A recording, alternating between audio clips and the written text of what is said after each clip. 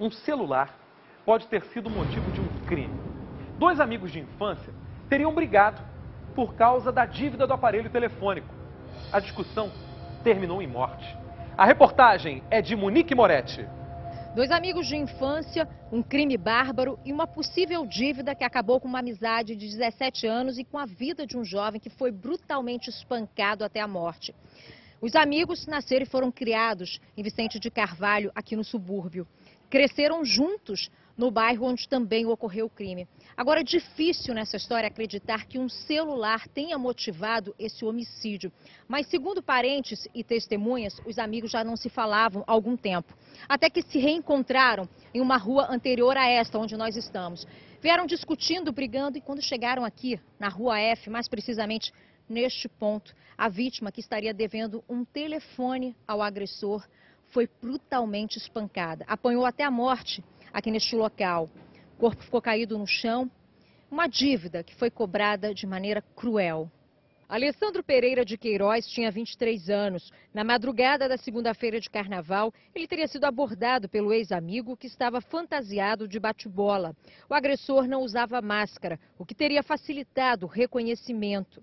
Todas as características indicam que foi essa pessoa. Eu não vou usar o nome, entendeu? Por causa que a polícia pediu para mim não confirmar isso, mas todas as testemunhas que eu já conversei, que não quer também se envolver no caso, já me afirma que foi essa pessoa, tudo está indicando que foi essa pessoa. O caso é investigado pela Divisão de Homicídios da capital. Parentes de Alessandro revelam que após o crime, o único suspeito sumiu da região e excluiu o perfil que tinha em uma rede social. Desativou o Facebook, entendeu? Pegou, é, o cabelo da, do agressor era vermelho, baixo, entendeu? E essa pessoa é de cabelo vermelho e baixo e todo não foi uma, não foi duas, confirmaram para mim que foi essa pessoa. O bate-bola dele tinha pena preta, aqui no do lado do corpo do meu primo tinha, entendeu? Pena preta. Alessandro era muito querido no bairro. Trabalhava como segurança em uma farmácia. A tragédia envolvendo amigos de infância surpreendeu vizinhos e familiares. E a gente não esperava isso.